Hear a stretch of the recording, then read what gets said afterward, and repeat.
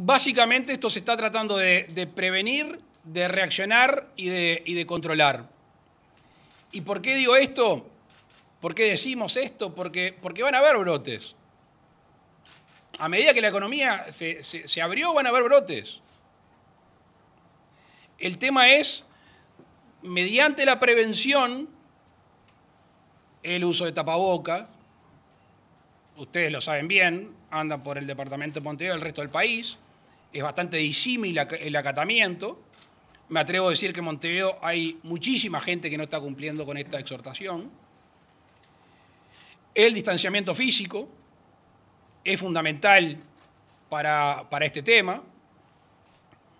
En ese sentido, el día de ayer el secretario de Presidencia estuvo reunido con la gente del transporte. Se van a aumentar las frecuencias, se va a tener más ventilación, se va a cumplir a rajatabla con el tapaboca, quien se lo haya olvidado en la casa, no lo haya traído, el propio funcionario de la empresa le va a dar un tapaboca. a la barra joven no se pueden hacer fiestas.